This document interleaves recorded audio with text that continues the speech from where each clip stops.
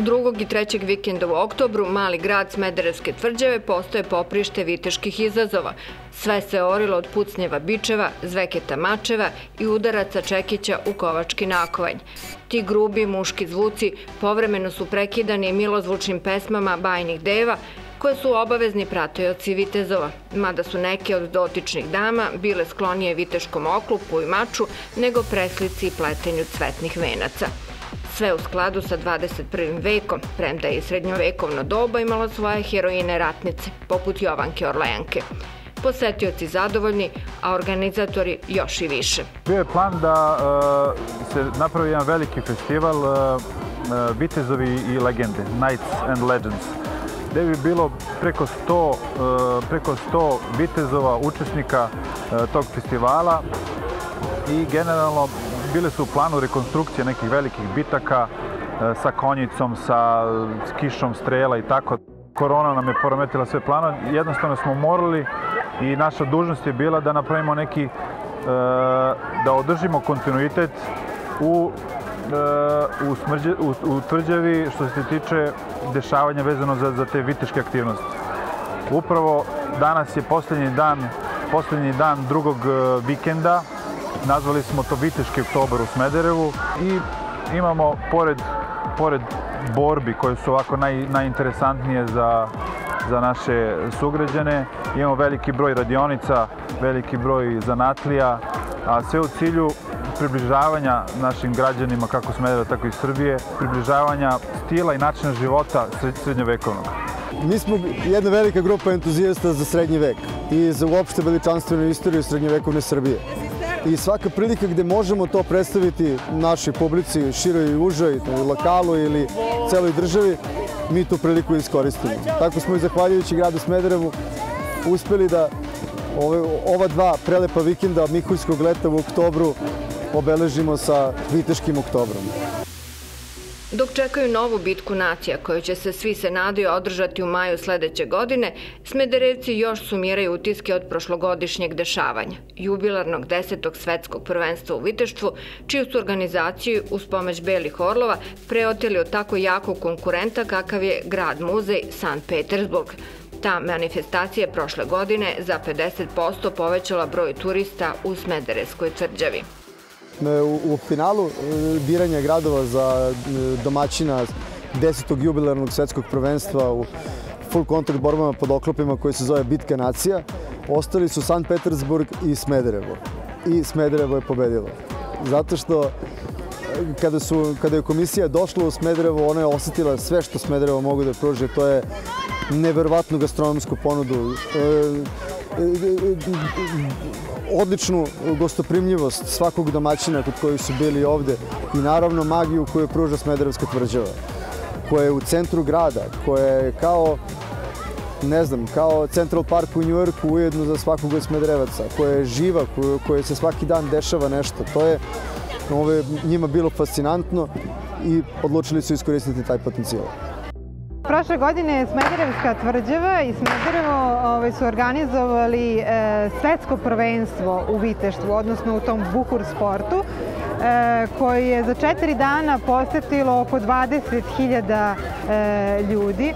E, samo učesnika je bilo negde oko 2000 e, iz preko 40 zemalja. Ono što je bitno da naglasim je da e, je tu bilo učesnika iz onih preko okeanskih zemalja, sa Novog Zelanda, iz Australije, Severne i Južne Amerike, čak i Kine, čije je čak nacionalna televizija prenosila uživo borbe iz Smedereva. Bila je jedna jako lepa atmosfera u, u gradu tokom tih dana bilo je simpatično sresti ljude odevene u srednjevekovnoj odeći na ulici, u supermarketu i smederecima je to bilo jako simpatično i, i zanimljivo i pokazali su se kao jako dobri domaćini, tako da većina učesnika je ponela jako lepe utiske, tako da žele da ponovo se vrate u Smederevo. Glavni krivci za celu ovu vitešku ujdurmu su momci i devojke okupljeni u udruženju Beli Orlovi, koja istražuje srednjovekovne običaje i način života i to ne amaterski, već uz pomoć stručnjaka, arheologa, etnologa i istoričara. Počele pre 12 godina sa šačicom entuzijasta, ali su vremenom Beli Orlovi dorasli najpre do organizacije sada već čuvenog viteškog festivala Just Out u manastiru Manasija, a sada i do svetskog prvenstva u viteštvu. Viteštvo je skup zanat, te su ovi zaljubljenici u srednje vek morali da nauče kako da naprave oklop, iskaju košulju ili iskuju oružje. Sve te veštine prenose na nove članove. Postoje treninzi, postoje e, različite veštine koje mogu da izučavaju, ali nije samo to. Postoje opet i zanati koje mogu da, da se nauče kao što su kovački ili zanat za proizvodnju obuće ili odeće ili um, iz srednjevekovnog perioda ili proizvodnju lukova i strela. Svaki borac mora biti apsolutno opremljen prema sebi, to jest oklop mora biti pravljen za njega lično. Oklop je težak otprilike 35 kg, varira par kila gore dole u zavisnosti od visine čoveka, ali je izuzetan napor nositi ga, naročito kada su borbe traju ceo dan i kada ne postoji prostor za odmor. Ali hvala Bogu, ima ljudi koji svoju fizičku snagu i svoje vreme žele da ulože u taj sport i mi se skupljamo s različitih strana Srbije i ove, formiramo timove koji predstavljaju našu, našu zemlju i inostranstvu u tom HMB, Historical Medieval Battle sportu.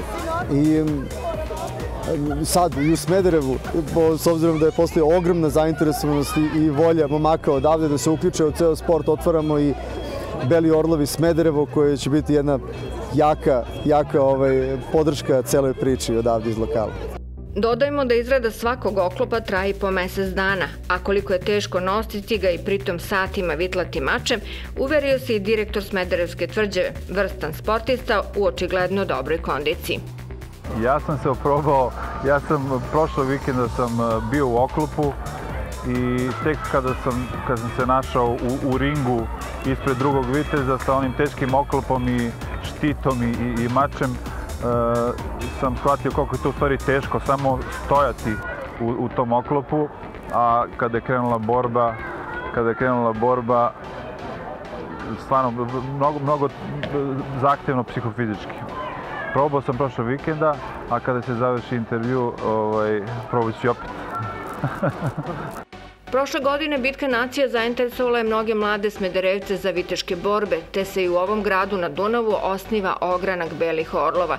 Upravi Smederevske tvrđave planiraju da uz pomoć tih mladih lokalnih vitezova viteške turnire organizuju daleko češće nego sada. Za početak, bar jednomesečno, jer se nadaju da će tako privući veći broj turista.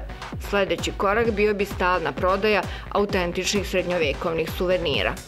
Beli orlovi podržavaju takvu strategiju Smedereva jer su se na viteškim turnirima širom Evrope uverili da je to oproban turistički recept. Mnogo, mnogo gradova koji imaju srednjovekovnu istoriju baziraju svoj turizam baš na tome. Na vikend varijantama gde postoje stalna ponuda e, viteških borbi, radionica, sreličarskih akcija, dvorišta, e, nastupa sa konjima, nastupa, sa pticama. Kad postoji ovakav ambijent kao što ima Smederevo, to ovaj, i najbolje iskoristiti takvim oživljavanjem u suštini tog istog lokaliteta kroz e, sve što je taj lokalitet nekada pružao dok je bio živ. Tako da, naravno, postoje primjeri pozitivne prakse od Francuske do Rusije. Ljudi koji žive i rade taj život, mislim, srednjevekovni život, ovaj, non stop su prisutni za sve turiste koji dolaze od ponedeljka do nedelje. Za ovu godinu nisu planirana više nikakva viteška nadmetanja, ali ste u maju iduće godine, ako ne bude korone, svi pozvani na grandioznu svetsku bitku nacija koja se planira ambicioznije nego ikada do sada. Spremamo taj veliki globalni projekat koji zovemo Knights and Legends, Vitezovi i legende, gde ćemo pozvati opet sve učesnike iz Evrope i sveta da dođu ovde da rekonstruišemo velike srednjevekovne bitke. Tako bit će uključena i konjica, i pešadija, i ratovanje strelama, opsada malog grada, tvrđave uz pomoć velikih opsadnih sprava. To će biti jedan veliki spektakl, jedno od redkih prilika da se vidi toliko boraca koji učestvuju u planiranju taktike, komandovanju, organizaciju bitke i na kraju samoj bitci koja će se desiti na velikom polju u Smederevskoj tvrđavi. Na ovogodišnjem sajmu turizma koji je održan u februaru, naša sagovornica Ana je zajedno sa kolegama sprovela malu anketu među Beograđanima. Pitanje bilo koliko je Smederevo udaljeno od prestonice i odgovori su većinom bili više od 80 kilometara. Za informaciju oni koji to ne znaju, Beograd od ovog lepog grada na Dunavu deli tek 50 km autoputa ili pola sata udobne vožnje. Zato ne čekajte maj i bitku nacija, ovde ima šta da se vidi i mimo viteških turnira.